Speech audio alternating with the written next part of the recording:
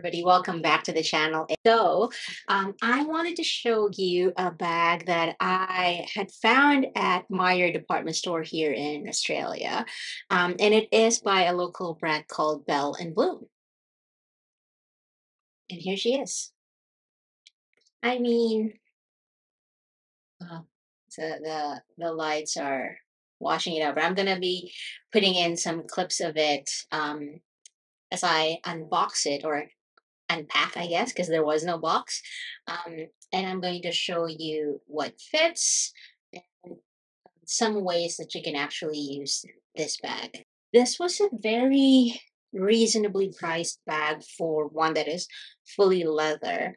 And when I saw it, it also came in black. When I saw it, I immediately thought about Bottega Veneta.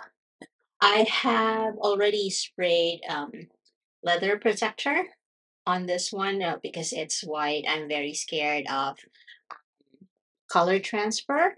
So I did that immediately when I decided that I was going to keep it. Because uh, when I bought it, I wasn't really sure.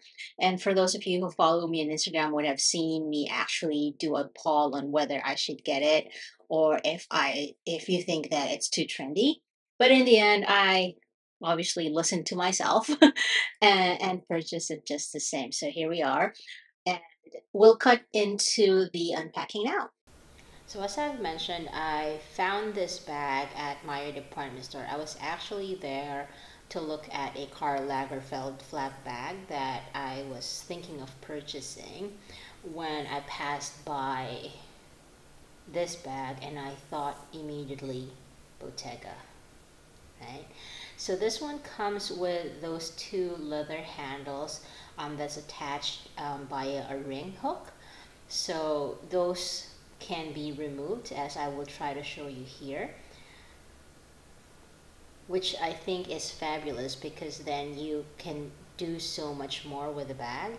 Um, you obviously can wear it as a shoulder bag using those two handles. You can also put it at the crook of your arms um, if you're going to keep the handles. But what I'm trying to do here as well is to show you what it looks like if you were just going to carry it as a clutch as you would with the Bottega ones. So, um, so that's what it would look like. And if you remove the other um, handle, then you obviously would just have the normal clutch that Bottega is very famous for, for their, what's it called? Is it, it's not the Jodie, but it's like more, they started that cloud bag style.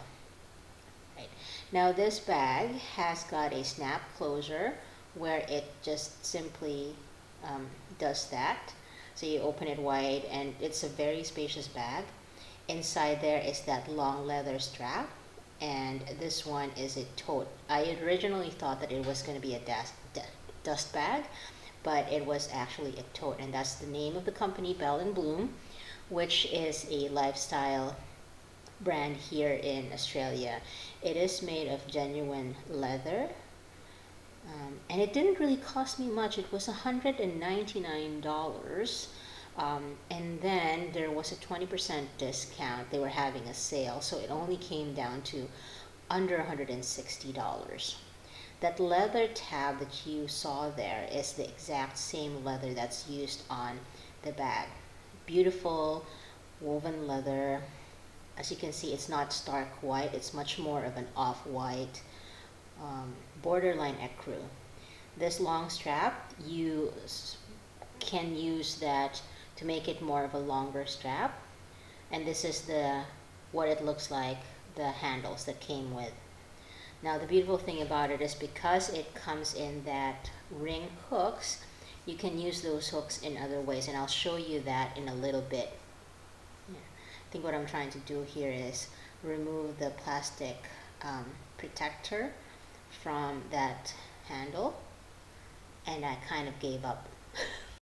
So now what I'm trying to do here is instead of placing that ring in the loops that they originally came in, there's actually two loops on the side where that longer strap could go into.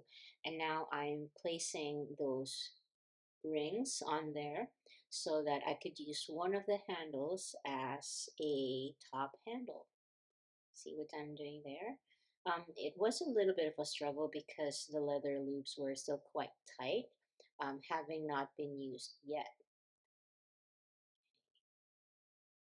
So there we go. I'm struggling a little bit here, but that's what now it looks like with that top handle. And I think I would carry it much more in this way. Now what I'm trying to show you here as well is that longer leather loop that it came in with, that the one that was um, wound up, and how that could be a longer strap to carry the bag. And you just really tie a knot around the rings with it. There's no bells or whistles on that particular long strap.